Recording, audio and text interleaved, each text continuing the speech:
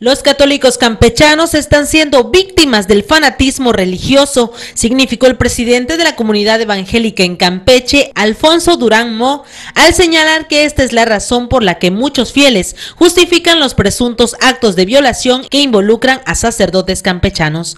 Indicó que este serio conflicto impacta de manera importante a toda la comunidad católica de Campeche. Hay mucha gente apasionadamente fiel a la religión católica y que esto que está sucediendo ahora es algo que ha sucedido desde muchos años y, la gente lo sabe, eh, los fieles católicos lo saben, lo justifican diciendo que son humanos y que, y que también son débiles. La ley debe seguir su sendero civil, llegar a todas las consecuencias, independientemente de lo que el clero, las autoridades católicas determinen sobre el caso dijo que si la Fiscalía General del Estado determina como culpables del delito de violación a menores a Martín Mena Carrillo y Francisco Velázquez Trejo, la Iglesia Católica que dirige el obispo José Francisco González González deberá saber poner orden a sus integrantes,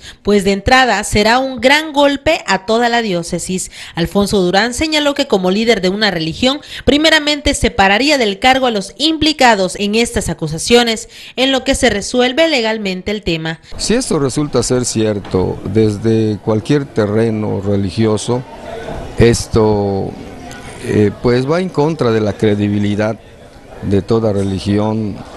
Eh, la religión debe ser un baluarte en contra de los males morales de la sociedad pero que también si son culpables, que también sepa que la Iglesia Católica sabe poner orden dentro de sus filas. Las organizaciones religiosas tienen sus estatutos internos. Eh, lo que nuestra organización haría así sería separar de sus cargos a los, a los ministros que cometan un error. Con imágenes de Jorge Méndez, Telemar Noticias, Yesenia Aque.